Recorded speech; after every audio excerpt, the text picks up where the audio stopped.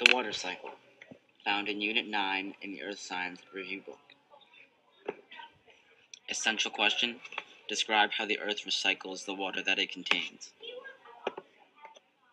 Some background information.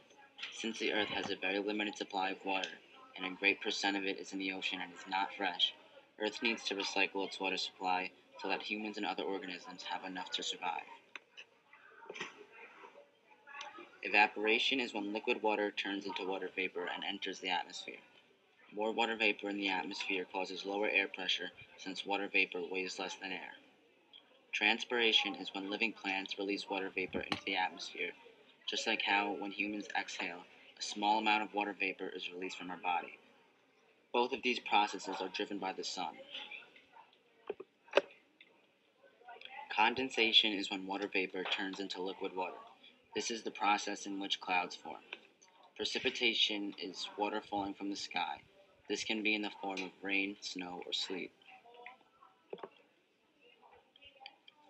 Runoff is water that is not able to infiltrate soil, so it travels by land into nearby lakes and streams. Infiltrate is water that seeps into the ground. This is added to the ground's water supply. Runoff is more likely to happen on a steep slope, while infiltrate is more likely to happen on a gentle slope. The amount of water the ground can hold depends on the porosity of the soil. Thanks for watching. This was a Teach to Learn Foundation video. Subscribe to watch more videos that will help you do well in your upcoming Regents.